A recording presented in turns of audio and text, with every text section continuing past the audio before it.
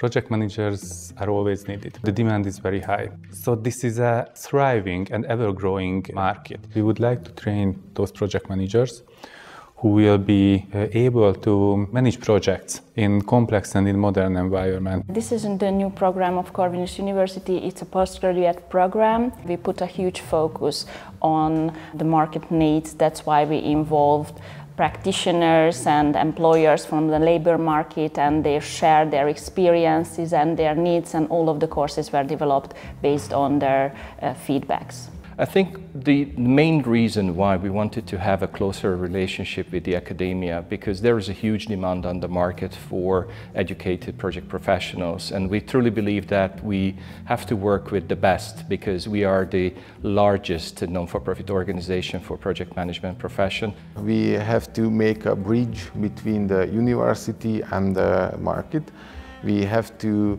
make a good combination with a solid theoretical base and uh, between the practitioner. In my opinion, this is a good uh, combination of very up-to-date uh, knowledge for the students. Everybody will use, or many people will use some kind of project management competency in the future, and the number of the project-oriented sectors are growing, so I think many people will work in project management, and I recommend this program for them.